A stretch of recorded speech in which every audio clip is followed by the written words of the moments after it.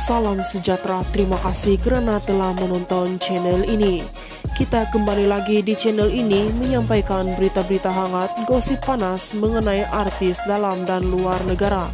Mari kita tonton isu-isu hangat hari ini. Jangan lupa tekan like, share, dan subscribe.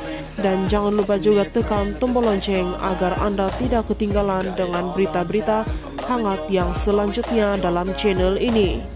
Pelakon dan model Fatihah Latif memuat naik sekeping gambar yang memaparkan dirinya berada di sebuah pejabat namun apa yang menarik perhatian ialah dia meminta warganet dan peminat untuk mendoakannya agar cepat bertemu jodoh. Salam Jumat semua, doakan saya cepat dapat jodoh. Tulisnya ringkas sebagai caption pada bahagian gambar tersebut.